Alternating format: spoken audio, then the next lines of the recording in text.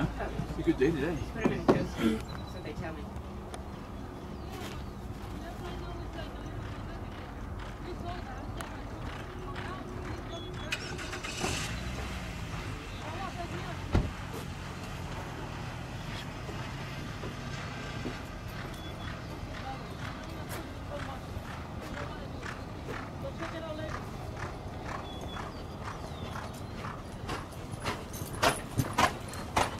Three.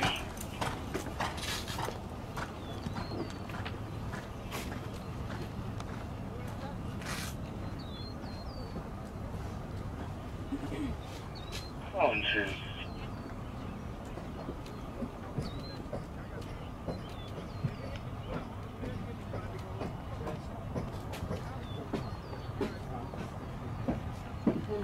Thirteen.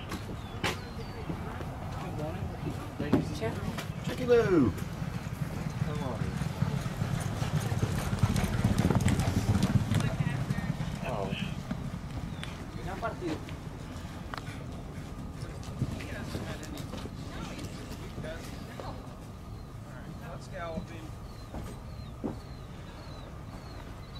thirteen three.